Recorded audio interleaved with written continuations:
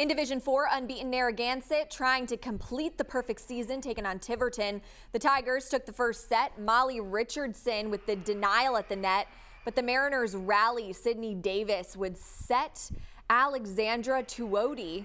She sends that one down the line and they go up to one. Then match point Davis to Claire Abreu. Narragansett takes home their first ever state volleyball title 3-1 over Tiverton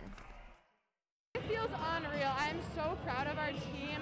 Like we really came through. After the first set, I was nervous, but it was a team effort all around, and I'm so proud.